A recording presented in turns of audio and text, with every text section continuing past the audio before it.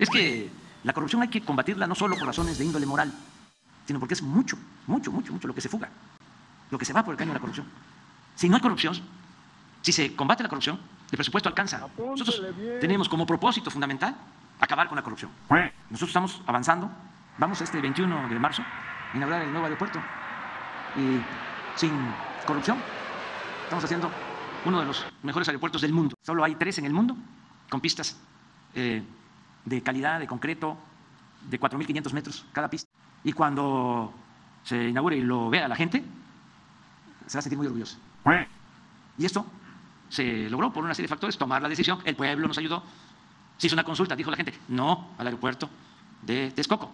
Que ahora tomamos la decisión, la tomó el pueblo, con la consulta, por eso es importante la democracia, de no continuar con ese eh, proyecto y hacer el aeropuerto nuevo en la base aérea de Santa Lucía, que ahora ya se llama Aeropuerto Felipe Ángeles, de calidad, de lo mejor del mundo, y se tenía estimado, estimado para el aeropuerto de Texcoco 300 mil millones.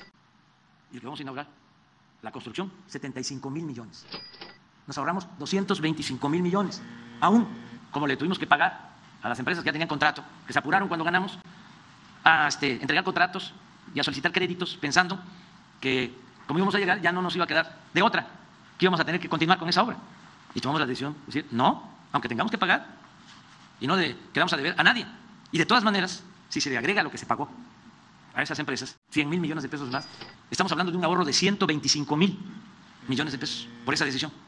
¿Cuánto nos va a costar el tren Maya?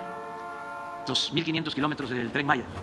200 mil millones. Si ya tenemos un ahorro con esa decisión de 125, quiere decir que tomar esa decisión nos significó financiar el tren Maya en un 65%. Yo tengo otros datos.